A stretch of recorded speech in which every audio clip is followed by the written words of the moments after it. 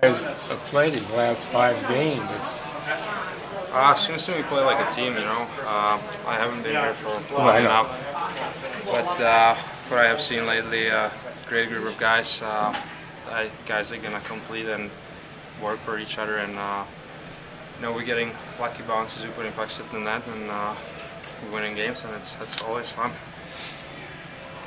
Today, you and and Carey combined on a couple of goals. You know, what, what was that like to both be able to assist each other?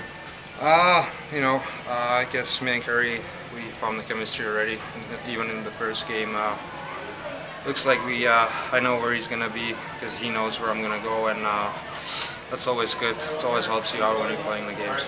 look at all three of the goals. You had good passing in front of the crease and got him going post to post. Yeah, I mean, uh, first two goals, oh, actually, all three of them, we, we went to the net, and uh, those scores weren't pretty, but they count, and uh, that won, won I us a thought they were pretty good actually. right, right. Now that you know you've been eliminated from the playoffs, you know, what do you guys have to do to, to keep playing hard every night?